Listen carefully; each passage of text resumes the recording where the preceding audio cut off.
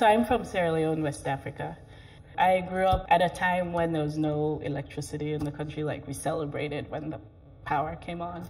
That's how bad it was. But as a child, I remember thinking that it would be really great if I could solve this power issue in this country. My dad is a physics teacher, so he exposed me to electrical circuits and, and electrical theory. That kind of sparked my interest in electrical engineering. I would love to be involved in ways to encourage more women, especially, to pursue careers in, in STEM related fields because I think they could have a huge impact on the world, and I think it's more fun than they think it is.